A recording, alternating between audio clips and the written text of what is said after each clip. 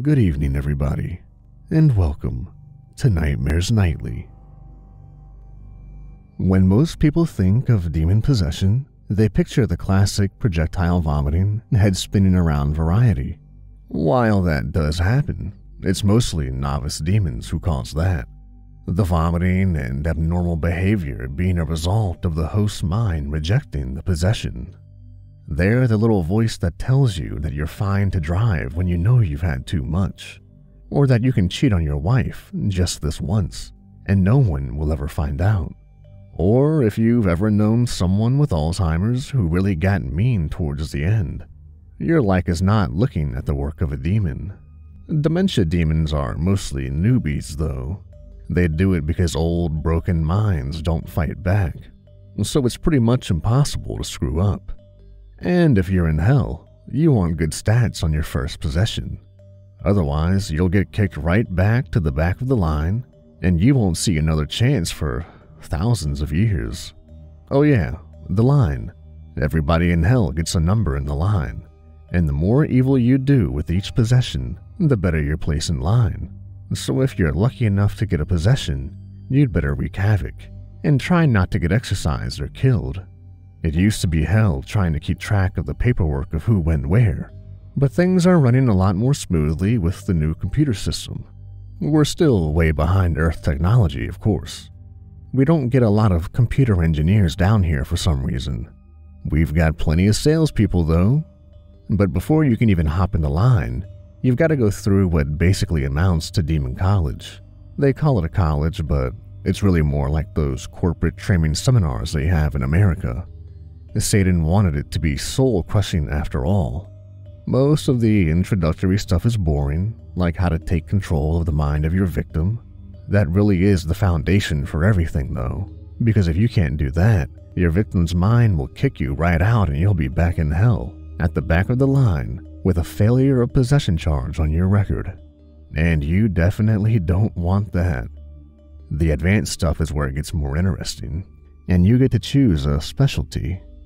Most people go into addiction because it's one of the easiest majors, and you get a reasonable amount of time before your host ODs or just gets used up.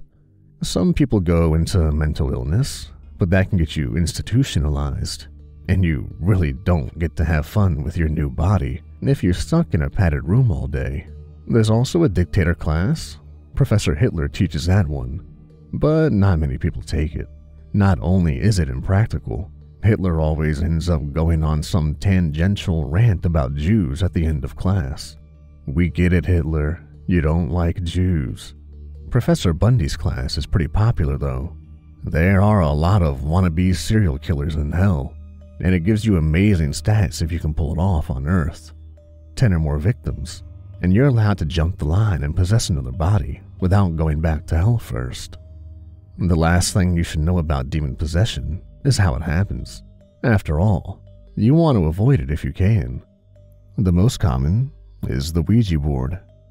People will accidentally summon up a demon, and by letting it control their hands, they allow their consciousness to overlap. The demon sneaks in through that window. If it's a particularly talented demon, it can fragment its consciousness and possess everyone with their hands on the board. The same thing can happen with a seance. Most demons will choose the weakest link, but some will be able to possess everyone in the room. Anyway, I'm afraid this is where my story ends. My host body is dying, and typing is getting pretty exhausting. But before I leave you, there's one more thing I want to tell you. The most ancient and skilled demons only need a tiny overlap in consciousness to possess you. They may only need to converse with you for a moment, or even just trick you into reading or listening to something. Maybe a story that distracts you just long enough for them to slip in unnoticed. You may feel uneasy or paranoid when it happens, or you may feel nothing at all.